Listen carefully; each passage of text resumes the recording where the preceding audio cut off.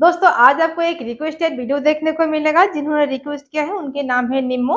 और उन्होंने जो मेज़रमेंट मुझे सेंड किया ना, उसी मेज़रमेंट पे आज मैं आपको काटिंग दिखाऊँगी। पहले आप लोग मेज़रमेंट देख लीजिएगा। उनका ब्लाउज की लंबाई है सिक्सटीन इंच जब सिक्सटीन लंबाई होगा, इसके साथ आपको वन इंच ज़रूर प्लास करना है। और उनका जो हाइट है ना फाइव फीट सेवन इंच है तो उनका हाइट भी ज़्यादा है ब्लाउज की लंबाई भी ज़्यादा देना होगा। Upper chest forty full bust है फोर्टी थ्री आर्म होल यहाँ पे एटीन फ्रंट नेक यहाँ पे सेवन एंड हाफ़ इंच और बैक नेक डेप्थ यहाँ पे ten and half inch sleeves का लंबाई है सिक्सटीन इंच स्लीव्स का राउंड है ट्वेल्व एंड हाफ़ इंच तो इस मेज़रमेंट में उनको सिंगल कटोरी ब्लाउज कटिंग और सिलाई चाहिए। अभी देखिए सबसे पहले इसमें जो पिक्चर है ना, ये देख लीजिएगा। यहाँ पे क्या गलती उन्होंने किया है? इसमें देखिए जो गलती उन्होंने किया है, सबसे पहला गलती उनका शोल्डर से देखिए बास्ट बराबर नहीं हुआ है, उनकी हाइट बहुत ज़्यादा है। उसी हिसाब से आपको मेज़रमेंट लेके बिल्कुल यहाँ पे देखिए बिल्कुल यहाँ से आपको मेज़रमेंट लेना है पॉइंट आपका कितना है? तो जितना आपकी पॉइंट है ना, आपको उसी हिसाब से इस यहाँ पे लेना है। अगर पॉइंट बराबर नहीं होगा तो इसमें जो दिक्कत हुआ है ना, हमेशा ही आपका ये दिक्कत होगा। आप ब्लाउज पहनने के बाद आपका पॉइंट ऊपर चढ़ने लगेगा। और दूसरा गलती यहाँ पे क्या हुआ है? पॉइंट के नीचे जो फेब्रिक आपने रखा ना बेल्ट के ऊपर जो फेब्रिक रखा, मैं आपको दिखाती हूँ। इसमें देखिए, यहाँ तक ये पॉइंट है। ठीक है, इसमें थोड़ा सा मैं आपको समझाती हूँ, देखिए। हो गया है। देखिए शोल्डर से यहाँ तक ये पॉइंट है। पॉइंट के नीचे जो मेज़रमेंट यहाँ पे है ना, जहाँ पे ये बेल्ट सिलाई हुआ है, देखिए। जो बेल्ट सिलाई यहाँ पे हुआ है ना, इसमें उनका जो फैब्रिक है ना, ये बहुत ज़्यादा रह गया है। इसमें फैब्रिक ज़्यादा नहीं रहना है। जितना आपको चाहिए उतना ही लेना है। हल्का दो तीन सौ ज़्यादा होने से कोई दिक्कत नहीं होगा। लेकिन जब बहुत ज़्यादा फैब्रिक इसमें आपका रहेगा ना, उस टाइम पे आपकी ब्लाउज पे ये दिक्कत होगा। पहनने के बाद आपका इस साइड पे लूजिंग रहेगा। जब इस साइड पे लूजिंग रहेगा, तब फैब्रिक आपका धीरे धीरे यहाँ पे ऊपर की तरफ़ चढ़ने लगेगा। जब ऊपर चढ़ेगा तब बाष्पन आपको ऊपर की तरफ़ उठने लगेगा। ज़रूरी है बाष्पन आपका ऊपर चढ़ने लगेगा ब्लाउज पहनने के बाद। इसलिए आपको सबसे पहला नंबर वन आपको पॉइंट बराबर रखना है। पॉइंट बराबर रखना है। दूसरा, ये जो कटोरी का सेकेंड पॉइंट है ना, ये पॉइंट भी आपको हमेशा बराबर रखना है। ये अगर बराबर नहीं होगा ना, कोशिश कीजिएगा इसमें आपका बिल्कुल फिटिंग्स रखने के लिए। जब इसमें फिटिंग्स होता है ना, उस टाइम पे आपका अगर पॉइंट थोड़ा बहुत कम ज़्यादा होता भी है ना, फिर भी कोई दिक्कत नहीं होगा। आपका यहाँ से जो फैब्रिक है ना, ऊपर की तरफ़ चढ़ने का कोई रास्ता ही नहीं मिलेगा, क्योंकि इसमें आपका पूरा फिटिंग से खिंचाप रहेगा। तो जिसके कारण आपका ब्लाउज से फिटिंग्स भी अच्छा होगा और यहाँ पे जो दिक्कत आपका हुआ है ना, ये भी दिक्कत आपका नहीं होगा। और दूसरी बात, उनका शोल्डर गिरते हैं हमेशा यहाँ पे लूजिंग रहता है तो लूजिंग क्यों रहता है? काटिंग करते टाइम क्या क्या ध्यान में रखना है?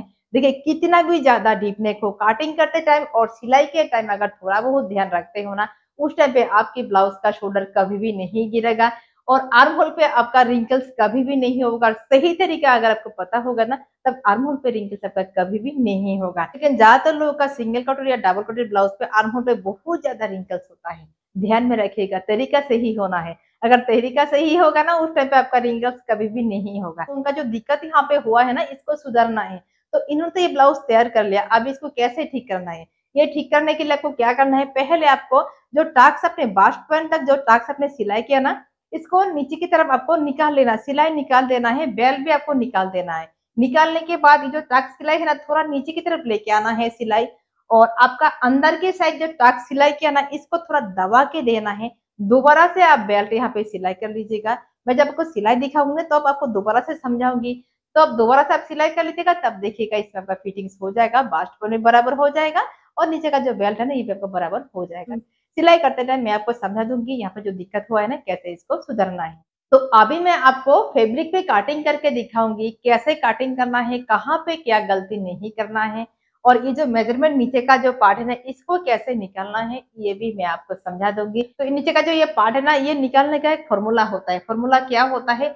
जितना आपकी फुल बास्ट होगा, जैसे इसमें फुल बास्ट है फोर्टी थ्री तो जितना फुल बास्ट होगा ना, इसको क्या करना है? थर्टीन से डिवाइड करना है। तो थर्टीन से डिवाइड करने से कितना होता है? लगभग थ्री पॉइंट थ्री ज़ीरो इतना होता है। तो इस तरीके से आपको इसका मेज़रमेंट निकाल लेना है। हमेशा फुल बास्ट का हिसाब से यहाँ पे मेज़रमेंट निकाल लेना है। अगर ये मेज़रमेंट निकालने में आपको दिक्कत होता है, तब एक मोबाइल ले लीजिए। मोबाइल पे जो कैलकुलेटर होता है ना, उस पे आप ये डिवाइड कर सकते हो। बहुत ही इजीली आपके लिए कोई मुश्किल काम नहीं है इजीली आप कर सकते हो। तो चलिए दोस्तों, देख लेते हैं किस तरीके से ब्लाउज कटिंग करना है। स्टेप बाय स्टेप पूरा देख लेते हैं। नमस्ते दोस्तों, मैं हूँ सविता। उम्मीद है आप सब लोग बहुत बहुत बहुत अच्छे हो मैं भी बिल्कुल ठीक ठाक हूँ। तो फिर चलिए दोस्तों, देख लेते हैं कैसे ब्लाउज कटिंग करना है। अभी सबसे पहले हमें बैक पार्ट काटना है तो बैक पार्ट के लिए फेब्रिक को मैंने यहाँ पे देखिए टू फोल्ड कर लिया। आपको अपनी हाइट के हिसाब से ब्लाउज का लंबाई लेना है, नहीं तो आपका ब्लाउज परफेक्ट नहीं होगा। इसमें देखिए ब्लाउज का लंबाई मैंने सेवनटीन इंच लिया, इसमें देखिए सेवनटीन के बराबर कर लिया। अभी शोल्डर रखना है शोल्डर मैं यहाँ पे फाइव एंड हाफ़ इस रख दूँगी, इसको बराबर फाइव एंड हाफ़ को बराबर मिला लेना है। अभी आर्महोल देखिए सिक्स लेना है, जिनकी आर्महोल जितना है उसी हिसाब से आर्महोल का मेज़रमेंट लेना है, नहीं तो आपका आर्महोल छोटा भी हो सकता है, ज़्यादा भी हो सकता है तो मैंने यहाँ पे सिक्स इंच रख दिया। अभी सिक्स को मैं सिक्स को मैंने बराबर कर लिया, निशाना लगा लिया। अभी चेस्ट का फोर्थ भाग लेना है। तो देखिए, यहाँ पे फोर्टी है अपर चेस्ट फोर्टी का, फोर्थ भाग है यहाँ पे टेन इंच तो टेन इंच से पहले मैंने निशाना यहाँ पे लगा लिया। इसके साथ मुझे टू इंच एक्स्ट्रा लेना है। देखिए, मैंने फिर टू इंच एक्स्ट्रा रख दिया। अभी टोटल जितना अपर चेस्ट है, उससे हाफ़ इंच घटा के कमर के लिए रख देना है। इस तरह से लेने से क्या होता है? अलग से मेज़रमेंट लेने का कोई भी ज़रूरी नहीं होता है। तो यहाँ पे मैंने सीधा लगा लिया। अब ये जो आर्महुल का निशाना है ना, ये आर्महुल का निशाना किस तरीके से देना है? आर्महुल का निशाना देने से पहले हमेशा ध्यान में रखिएगा, जितना आपके टोटल अपर चेस्ट है ना, यहाँ पे मिला है, चौथा भाग मिला ना, उससे हाफ़ इंच अंदर आ जाना है। यहाँ से मेज़रमेंट करके हाफ़ इंच आपको अंदर की तरफ़ आ जाना है। हाफ़ इंच अंदर आने के बाद ये जो हाफ़ इंच है ना, यहाँ से आपको अरहुल की गुलाई देना है वन इंच अंदर आ जाओ। ये चाहो तो आइडिया से भी कर सकते हो। यहाँ पे मेज़रमेंट लेने का ज़रूरी नहीं होता है। फिर भी आप लोगों को इजी होगा, जिसके कारण मैंने यहाँ पे जो हाफ़ इंच अंदर मैंने यहाँ पे निशाना दिया ना, उसी निशाना से वन इंच लगा लो यहाँ पे। अभी इसके हिसाब से इसको देखिए देखिए कहाँ पे ये होता है। जो निशाना है ना, इसके हिसाब से आपको देखना है ये निशाना कहाँ पे जाते हैं। तो से देने से क्या होता है बैक साइड का फिटिंग सबका बहुत ही अच्छा होता है रिंगल्स बहुत ही कम होता है। अभी इसके हिसाब से देखिए, यहाँ पे कितना हुआ है, लगभग वन से तीन सौ ज़्यादा मिला है। इसको ध्यान में रखते हुए, अभी इसको मिलाना है। देखिए इसके साथ। ऐसे इसको मिला दो। ऐसे देने से बैक साइड का अंदर का जितना भी फैब्रिक है ना, ये काटिंग हो जाता है और बैक साइड फिटिंग बहुत ही अच्छा होता है। अभी नेक का चौड़ा यहाँ पे लेना है। आप टू इंच से एक सूट कम रख दो। जब बैक साइड में डोरी नहीं होगा ना, उस टाइम पे आपको इस देने से अच्छा होता है। शोल्डर गिरने का चांस बहुत ही कम होता है। और उनको बैक साइड पे टेन एंड हाफ़ इंच चाहिए तो टेन एंड हाफ़ इंच से पहले यहाँ पे निशाना लगा दो। अभी चौड़ाई में आप थ्री एंड हाफ़ इंच रख दो। बिग साइज़ का ब्लाउज है और हाइट भी ज़्यादा है तो यहाँ पे थोड़ा सा फैला के देने से अच्छा होता है। अब इसको गुलाई दे दो। देखिए, हो गया है। इस पे हल्का सा डाउन कर दो। एक डेढ़ सूत ऐसे तिरछा करके डाउन कर देना है। तब देखिएगा आपका शोल्डर कितना अच्छा चिपका हुआ होता है। अभी टक्स के लिए यहाँ से निशाना लगा दो। सिक्स इंच पे रख दो। कोई दिक्कत नहीं। और ऊपर की तरफ़ आप पौने सात इंच यहाँ पे लगा दो।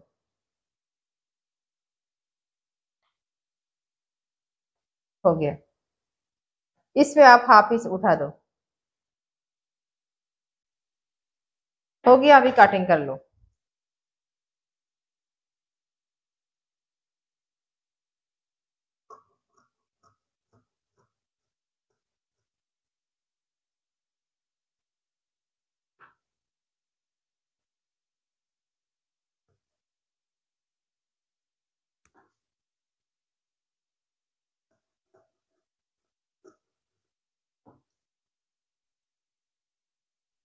अब स्लिप्स का चौड़ा यहाँ से रखो, देखिए। स्लिप्स का चौड़ा देखिए, नाइन इंच से दो सूट ज़्यादा है। इससे भी थोड़ा ज़्यादा है तो मैं तीन सूट रख देती हूँ। नाइन इंच से तीन सूट ज़्यादा मिला है। इसके साथ हमें और भी वन इंच प्लस करना है। तो टेन इंच से मुझे तीन सूट ज़्यादा लेना है। स्लिप्स का चौड़ाई डीप नेक पे आपको इस तरीके से लेना है। उनको स्लिप्स का लंबाई ज़्यादा चाहिए तो बाद में स्लिप्स काटूँगी। पहले मैं फ्रंट पार्ट काटिंग कर लेती हूँ और वो काटिंग करना है आपको पेपर पे। अभी बैक पार्ट के हिसाब से पहले निशाना लगा दो।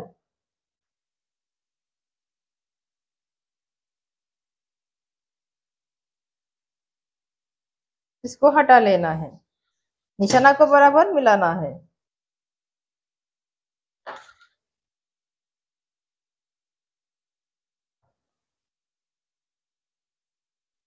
पहले यहाँ से ये जो सिलाई के लिए जो एक्स्ट्रा है ना, बाद में रखूँगी। अभी कुछ भी नहीं करना है। फ्रंट पे उनको सेवन एंड हाफ़ चाहिए तो सेवन एंड हाफ़ इस पे निशाना लगा देती हूँ। इस पे हमें ढाई इंच रखना है फ्रंट साइड पे। अभी इसका गोलाई देना है। फ्रंट के लिए आप अपने हिसाब से कम ज़्यादा ले सकते हो। शोल्डर से हमें बास्ट पॉइंट लेना है। इसमें अभी आपको बास्ट पॉइंट बराबर तरीके से लेना है। उनकी जितनी हाइट है ना, उसी हिसाब से बास्ट पॉइंट यहाँ पे मिनिमम 11 इंच से दो कम लेना है। उन्होंने बास्ट पॉइंट के मेज़रमेंट नहीं दिया, फिर भी जो हाइट उन्होंने मेंशन किया ना, उसी हिसाब से आपको मिनिमम 11 इंच से दो कम लेना है। नहीं तो आपका पॉइंट ऊपर की तरफ़ उठ जाएगा फिटिंग्स अच्छा नहीं होगा। इसको पहले सीधा करना है। अभी जितना आपके अपर चेस्ट है फोर्टी आपका अपर चेस्ट है। उसको टेन से डिवाइड करना है। टेन से डिवाइड करने से ये फोर इंच आता है। अभी पहले यहाँ पे फोर इंच पे निशाना लगा लो। दोबारा से सेम मेज़रमेंट रख दो फोर इंच अभी देखिए टोटल जितना मिला है ना, उससे आपको वन इंच माइनस कर देना है। कोई भी साइज़ का हो। आपको इस तरीके से लेना है, जितना मिलता है उससे वन इंच माइनस कर देना है। तो अभी देखिए, जो मिला है ना सेवन इंच इसको मिडल निकाल लेना है इसका। हो गया। अभी ये पॉइंट इसके साथ मिलाना है। मिलाने से पहले देखिए, यहाँ से मेज़रमेंट लेना है। आप कहीं से भी ये ले सकते हो। आप चाहो तो फाइव इंच से ले लो फाइव एंड हाफ़ इंच से ले लो, कहीं से भी ले लो, या फाइव इंच से दो सौ ज़्यादा लो, कहीं से भी लो, इसके कोई दिक्कत यहाँ पे नहीं होगा। लेकिन इसमें लगभग ढाई इंच आपको रखना है तो ढाई इंच से थोड़ा सा कम हुआ है, कोई दिक्कत नहीं है, हल्का सा कम हुआ है, फिर भी के बराबर हो जाएगा। तो इसमें मिल गया है, अभी नीचे कितना लेना है? ये मेज़रमेंट लेते टाइम भी आप लोग गलती कर लेते हो, ये गलती आपको नहीं करना है। इसमें आपको बराबर तरीके से रखना है, नहीं तो आपका ये जो कटोरी है ना कटोरी का आपका यहाँ पे मेज़रमेंट गड़बड़ होगा। जितना आपकी फुल बास्ट है फुल बास्ट यहाँ पे फोर्टी थ्री है। तो इसको थर्टीन से डिवाइड करना है। अगर आपको मेज़रमेंट करना नहीं आता है, उस टाइम पे एक मोबाइल लेना है, अलग से मोबाइल पे आप यहाँ पे मेज़रमेंट कर लीजिएगा। तो लगभग यहाँ पे कितना होता है? थ्री पॉइंट थ्री ज़ीरो यहाँ पे होता है। तो नीचे देखिए आपको मेज़रमेंट लेना है। थ्री इंच से तीन सौ ज़्यादा यहाँ पे रख दो हो जाएगा। जो सिलाई के लिए एक्स्ट्रा चाहिए ना, वो हमें बाद में लेना है। अभी इसमें कुछ भी नहीं करना है। इसको सीधा नीचे लेके आना है। हो गया। इस साइड पे आप पौने दो इंच रख दो और इसमें आप हाफ़ इंच रख दो इसको ये दोनों पॉइंट को मिलाना है। टक्स के लिए जो चाहिए ना, बाद में लगा दूँगी। अभी मैं ऐसे यहाँ पे रख दूँगी। टक्स अभी नहीं लगाऊँगी। अभी ये जो पार्ट है, ये कितना लेना है? इसको सीधा नीचे लेके आना है। चाहो तो ऐसे भी मिला सकते हो, लेकिन हल्का एक्स्ट्रा होने से अच्छा होता है। इसको तिरछा कर दो। जितना भी नीचे एक्स्ट्रा होगा ना, बाद में मैं काट कर लूँगी, अभी मैं ऐसे ही रख दूँगी। अभी नीचे का बेल्ट लेना है।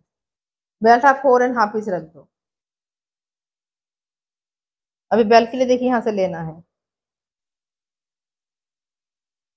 हो गया। और इसमें कुछ भी नहीं करना है इसमें हल्का तिरछा कर देना है। हो गया। बेल्ट के लिए और कुछ भी नहीं करना है। मेज़रमेंट लेने का और कोई ज़रूरी नहीं है। यहाँ पे हो गया है, अभी काट कर लो।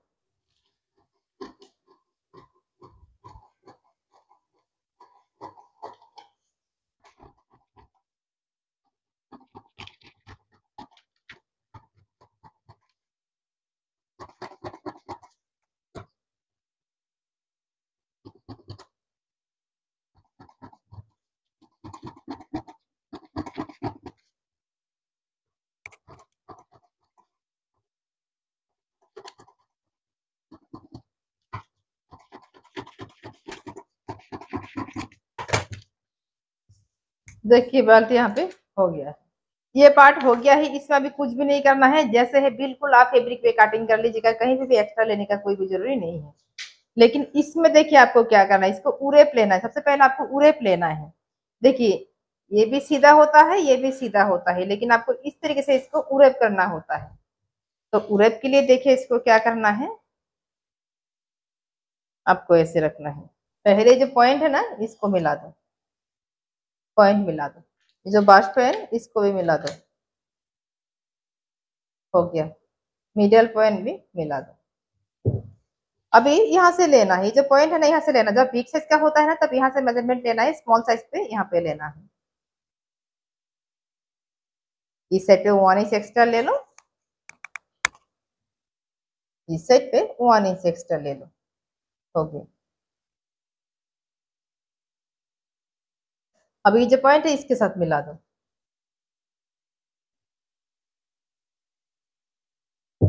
और ये पॉइंट इसमें लेके आना है। इसमें हल्का सा एक्स्ट्रा लेना है, ज़्यादा नहीं लेना है। देखिए, यहाँ पे हो गया है। अब यहाँ पे क्या करना है? One and half inch extra रख दो। कोई भी साइज़ का हो वन एंड हाफ़ इंच आप एक्स्ट्रा रख दो। अब इस पॉइंट को भी इसके साथ मिला दो।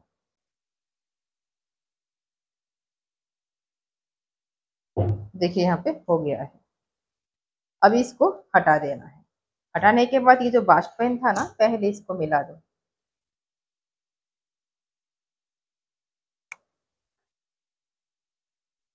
अब इसमें टक्स के लिए देना है। थ्री एंड हाफ़ इस टोटल रख दो। थ्री एंड हाफ़ को इस तरीके से फोल्ड कर लो। थोड़ा ऊपर की साइड से हमें निशाना देना है। अब इसके साथ इसको मिला दो। इसमें अभी देखिए सिलाई मार्जिन इतना तक हमें सिलाई के बाद चाहिए। लेकिन हमें काटिंग थोड़ा सा अंदर की साइड से लेना है। क्योंकि सिलाई मार्जिन के लिए। इसमें अभी हमें काट करना है। इसमें काटिंग नहीं करना है। तो ये भी कंप्लीट हो गया है और कुछ भी नहीं करना है।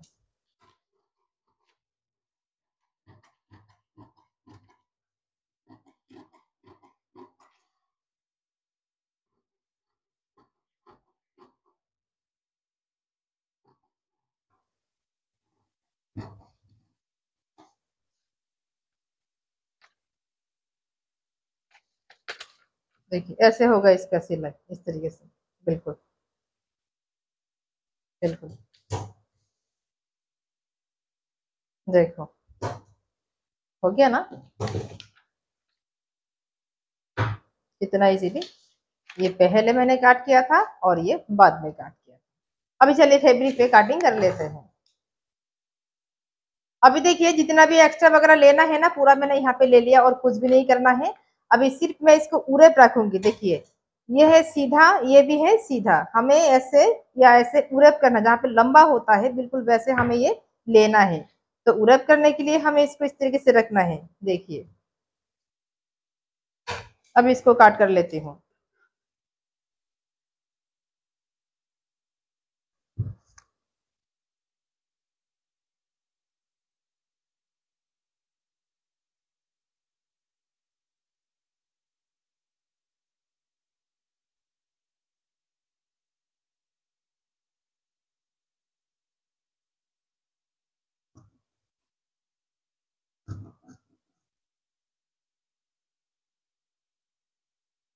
सिर्फ़ आप लोगों को अच्छे तरीके से समझाने के लिए मैंने इसको पेपर पे काटिंग किया, नहीं तो डायरेक्ट मैं इस फेब्रिक पे इसको काटिंग कर लेता। अब इसको निशाना दे के रखना है, जहाँ पे ये बाश पॉइंट है, तब इजी होगा।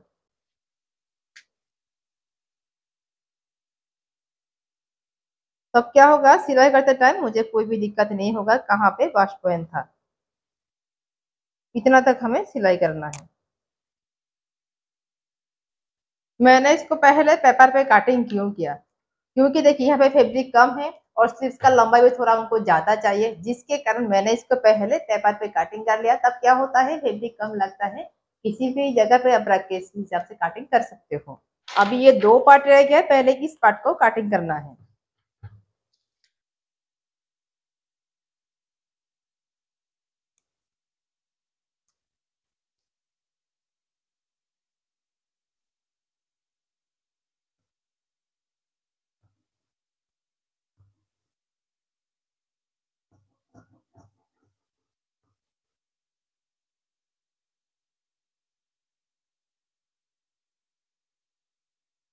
अभी देखिए उनको स्लीव्स का लंबाई सिक्सटीन चाहिए।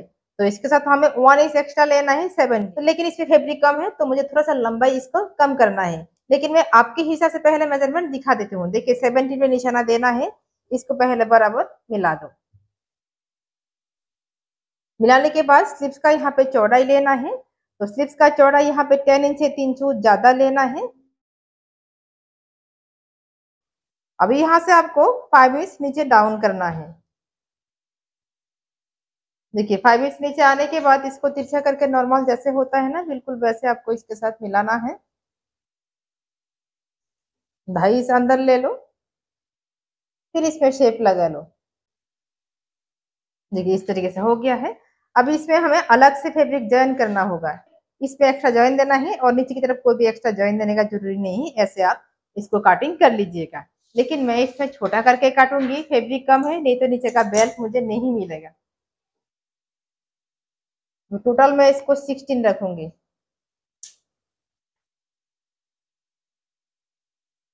इस पर से मैं कोई स्लिप्स का चौड़ाई नहीं रखूँगी, बाद में दूँगी।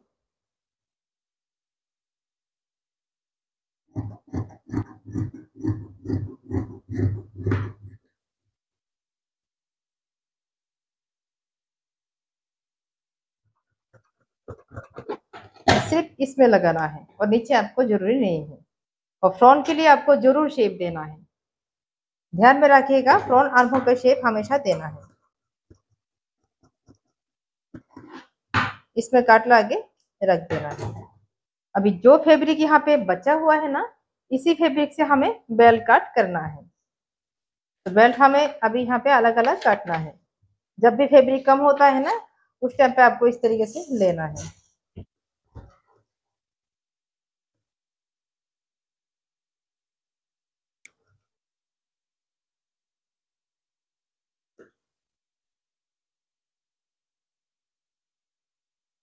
देखो, कितना इजीली यहाँ पे निकल गया है।